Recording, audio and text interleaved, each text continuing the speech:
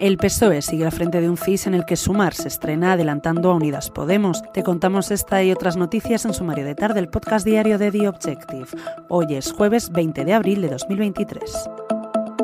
El último CIS de José Félix Tezanos mantiene al PSOE en lo alto de la encuesta, aunque en esta ocasión añade un nuevo participante a la carrera electoral. Sumar, la plataforma política de Yolanda Díaz, entra por primera vez en el sondeo y lo hace con una victoria frente a Unidas Podemos sobre quien se impondría en cuanto a intención de voto. Hoy, además, la división del Gobierno de coalición se ha escenificado en el Congreso. El Pleno ha aprobado la reforma de la ley del solo sí es sí. Lo ha hecho gracias a los votos favorables del PP, que ha acordado con los socialistas la inclusión en el texto de varias enmiendas y con el visible disgusto de las ministras de Podemos. Además de PSOE y PP, la reforma ha contado con el apoyo de Ciudadanos, PNV, Coalición Canaria, UPN y PDCAT y el voto en contra de la mayoría del bloque progresista.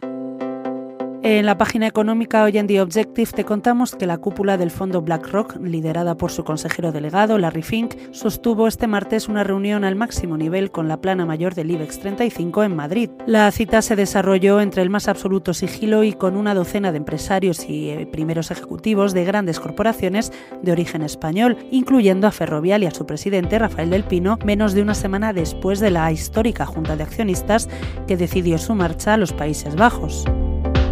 Para terminar, hoy hemos conocido que el fundador de Falange, José Antonio Primo de Rivera, será exhumado este lunes de la Basílica del Valle de los Caídos, tal y como había solicitado su familia el pasado mes de octubre, cuando alegaron que en su testamento el ex líder falangista dejó manifestada su voluntad de ser enterrado en un cementerio católico. Sus restos serán trasladados al cementerio San Isidro de Madrid, coincidiendo con el 120 aniversario de su nacimiento. Lo dejamos aquí por hoy. Tienes estas y otras noticias en abierto en theobjective.com. Volvemos mañana. Hasta entonces.